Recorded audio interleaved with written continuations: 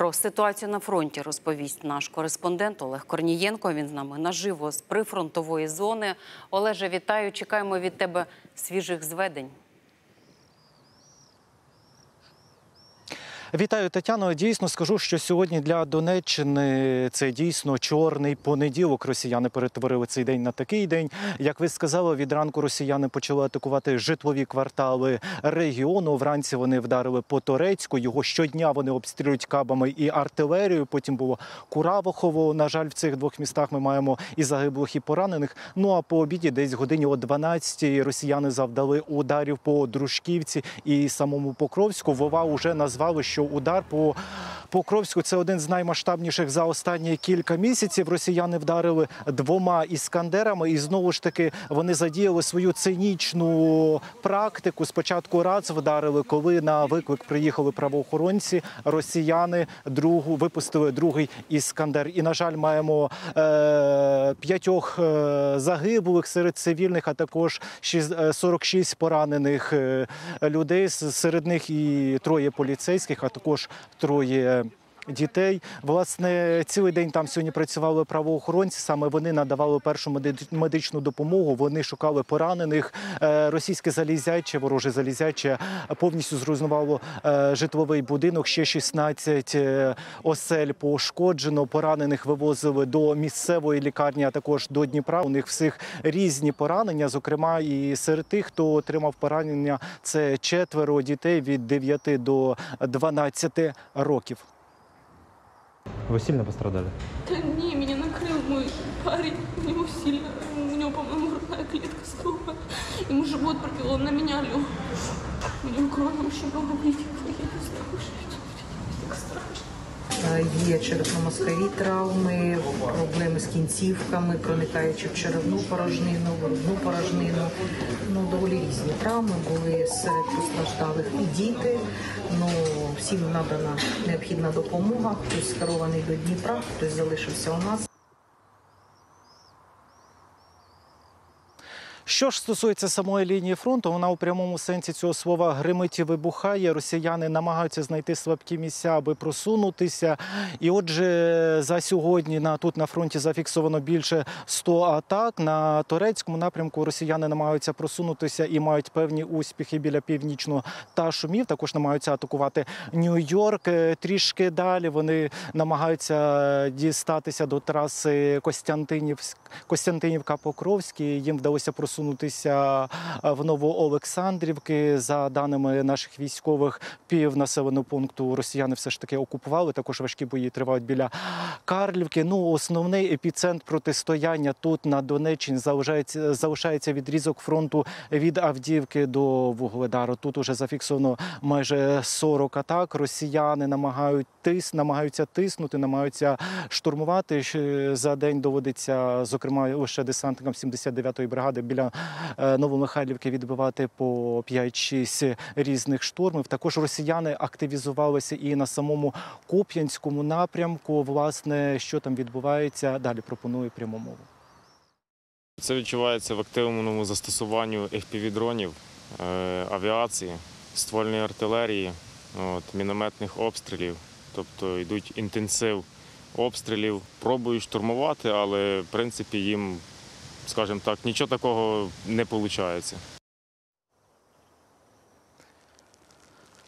Тиснуть росіяни на всіх напрямках, власне, і активно застосовують керовані авіабомби і FPV-дрони. За день іноді вони можуть випустити понад 150 дронів камікадзе. Якщо, наприклад, з кабами боротися тут на фронті вкрай складно, то з FPV-дронами є шанси побороти. Це все-таки РЕП. І я напередодні працював із артилеристами 67-ї бригади, які свого часу бійці боронили Київ, звільняли Харківщину. Потім спалювали ворога під Бахмутом, тримали 9 місяців Серебрянський ліс. Нині тепер вони на Лиманському напрямку. І найбільше власне і цим бійцям дошкуляють FPV-дрони, бо реально навіть артилеристам працювати неможливо. Дрони постійно літають, тому вони просять допомогти нам їм зібрати на реп-системи, які реально допомагають боротися з дронами камікадзе. Реквізити будуть на екрані. Ну а власне.